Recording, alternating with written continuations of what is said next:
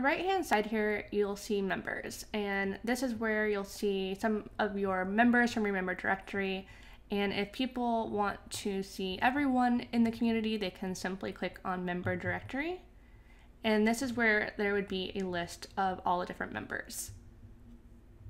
Up here is where you can add members and you have the option to either enter their emails manually or upload a CSV and you can also copy the invite link.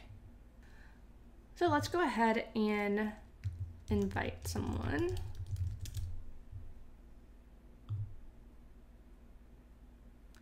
So now that I've invited someone,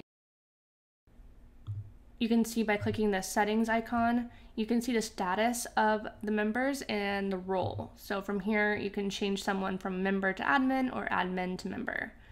And then if you click on this map icon, you can get an overview of where all your members are in the world. Members can also edit their profile and fill in their name, upload a profile picture, set their location, and set a bio. When someone clicks on a member profile, this is what they would see. And if someone wants to leave your community, they can simply click on these three dots here and select leave community and they always have the option to edit their profile. So let's say you want members to fill out more than just these three things.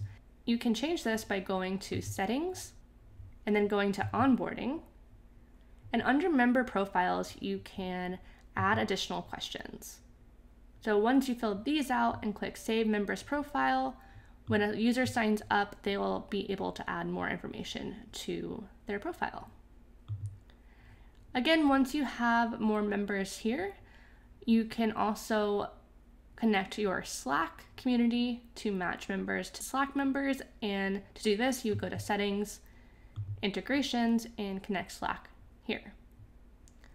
Last note about members is if you have multiple members, you'll be able to message them and that is where this chat icon comes into play. So that's a quick overview of how members work in Luma.